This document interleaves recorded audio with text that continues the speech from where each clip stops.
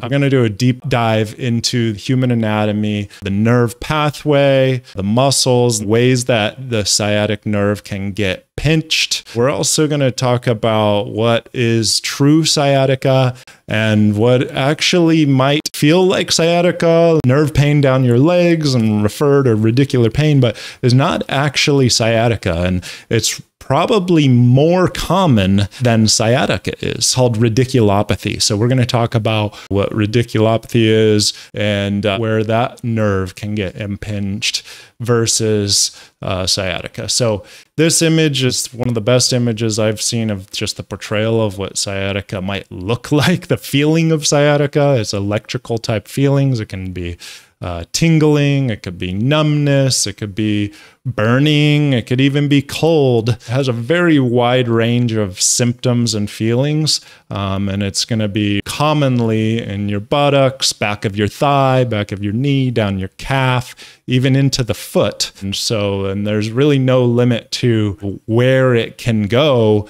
down your leg, how far it can go. The only thing that definitely can't happen is the symptoms of the nerve impingement can't go higher than where the impingement is. So if the impingement is happening, say, in your buttocks, you could get symptoms in your buttocks or all the way down into your foot, but it wouldn't go higher up into your back or into your neck or your shoulders. Symptoms can only go down farther away from down the path of the nerve, so farther away from where it's getting pinched. I have permission from 3D Organon to use their product uh, to show a beautiful imagery of the human body. So it gets pretty complex when we zoom in. So the first thing I just want to do is show you kind of a more simplified version of the sciatic nerve. And so from the back of the body, it's this big, huge nerve here. It has a pathway and um, it starts up in the spine and it comes through the back of the pelvis and down the leg. And um, so that's how it can send some symptoms down the leg because that's its pathway. What actually is sciatica? So, sciatica is when this sciatic nerve, this one right here, gets pinched. But the sciatic nerve only forms right about here. When all these nerves come together, that's when it starts getting called the sciatic nerve. And so the nerve in pink is the one that and we're talking about in question, and it goes down the leg.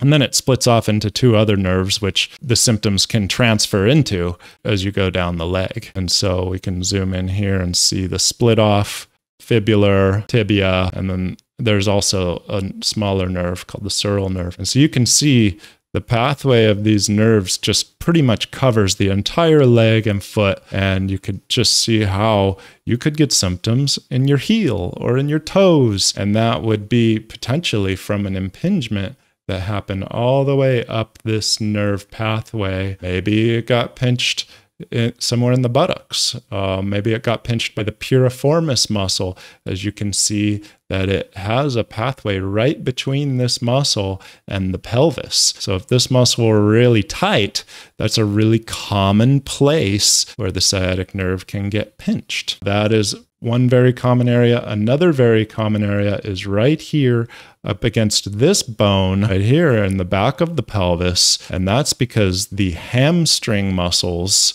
run right over this area too. Here's the hamstrings uh, running right over that nerve where that attachment on that bone is. So tightness right here could press it up against that bone. That would be true sciatica. Another muscle group right in this region are the glutes. So there's the glutes running right over the top of this area of the body. So, glute hypertonicity or just chronic tightness in the glutes can do that. So, these would all be true cases of sciatica. There is something more common than sciatica that we might incorrectly think is sciatica, but it's technically not. The sciatic nerve doesn't start until right around here, where all these nerves come together. These nerves, like this, are actually not the sciatic nerve, but they can get pinched in the spine. And that's how sciatica can be related to back pain. So we have a disc here, we have the vertebrae here, and we have these nerves coming out of the spinal cord. And these nerves are spinal nerves. This, if this were L5, this would be the L5 spinal nerve root, and that can get compressed by a disc that presses into the nerve. It can get compressed by a bone spur that grows on the vertebrae and presses on the nerve. It can get compressed by stenosis if the space between the vertebrae gets decreased by postural reasons. Uh, that can compress the nerve. There are a lot of ways that a nerve can get compressed in and around the, the spine and the vertebrae. There's so many opportunities for that to happen, and it's extremely common. And this is not true sciatica. This is technically called radiculopathy. And radiculopathy is defined by nerve root compression. So we have all these nerves coming out of the spinal cord, and they are nerve roots. They are the things that get compressed. And it's not until they come together to form the sciatic nerve that true sciatica could possibly happen. So if the nerve gets pinched farther down, maybe in the buttocks, that's true sciatic. The sciatic nerve is the one getting pinched. That's not to say we can't use sciatica as a common term to describe pain that's going down the leg. It's something that could benefit you to learn the anatomy. If I'm feeling these symptoms in my body, you know, it really can be beneficial to help me to solve the problem if I know the anatomy. And I also is really helpful to know that potentially if my pain is in my calf or in my foot, that actually it could be coming from my spine. The symptoms are not typically in the location where the problem is happening. But what we can know for certain is if the symptoms are up higher, say you're having symptoms in your back. Let's see if we can just have, you know, general symptoms I don't know, or in your buttocks in this region, we know for certain that the impingement would not be happening down in the back of your knee is another possibility where nerves can get compressed. So this the impingement would have to be happening at the level, maybe at the piriformis. We can follow this up and then to to try and follow this pathway. Maybe it could be happening in here or it could be happening up above, maybe in the vertebrae here. And you can see this is a really good view here where you can see how all these nerves are exiting and um, they can get compressed. Here's a intervertebral disc. If that disc were to herniate and press on this nerve, this is the L5 nerve root, and this is one of the roots that feeds into the sciatic nerve. So if this nerve root was getting compressed by this disc here, it would not be sciatica. It would be radiculopathy. And so this begs the question how do we treat sciatica? What do we do?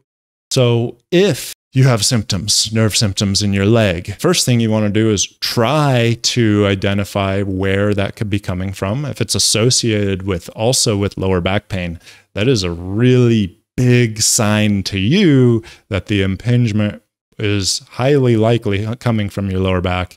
It wouldn't be true sciatica, it would be radiculopathy.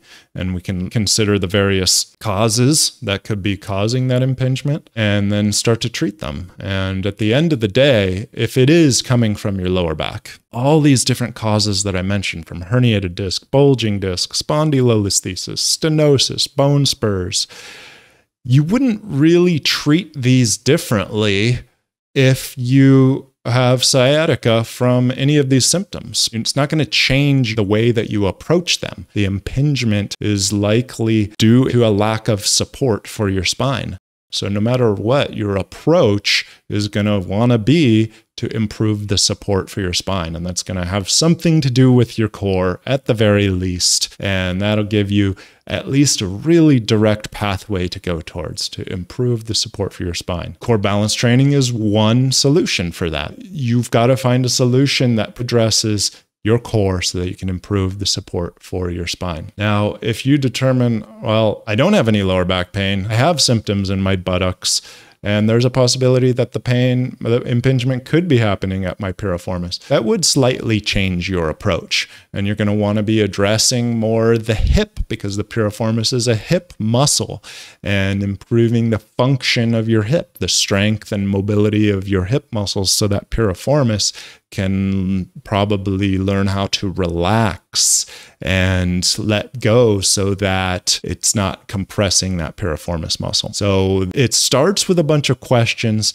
and the, the answers to those questions give you a more specific path to go down and guide you towards your answer. So hopefully that's helpful for you. You're having a lot of pain in the front of your thigh around the hip flexor area.